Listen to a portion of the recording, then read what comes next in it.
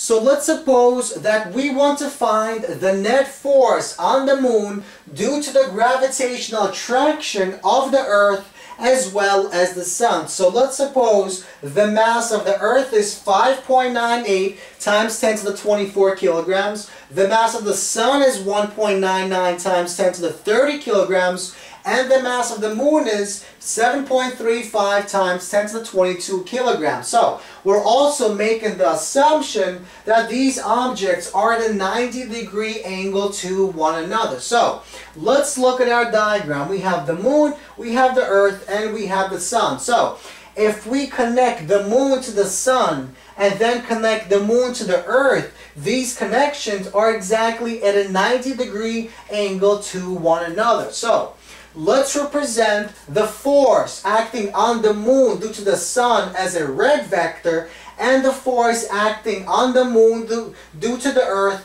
as a blue vector.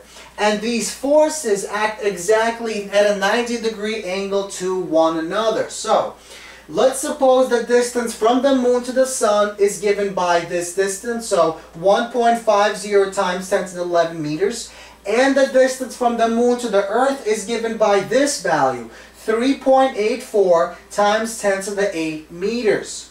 So what we essentially want to find is the net force that acts on the moon due to these two forces. So we build a right triangle. So we take this force and move it here and we draw the following force so the force will be given by the hypotenuse, the magnitude of our hypotenuse. This is our net force. So to find net force, we simply take the sum of the squares of these two forces and take the radical of that value. So this is given by Pythagorean theorem.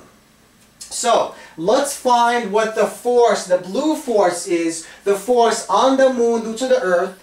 So we simply plug in our value. So our uh, gravitational constant g, our mass of the earth and the mass of the moon, divide that by the distance between them squared, and we get approximately 2.0 times 10 to the 20 newtons.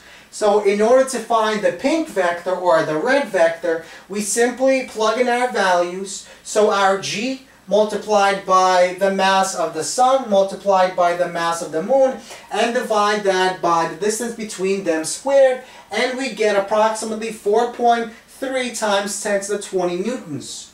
So now in the final step we simply take the square and sum that up and we take the radical and we get approximately 4.7 times 10 to the 20 newtons is the force, is the net force acting on our moon. So because the net force points in this direction, the moon will also travel in this direction.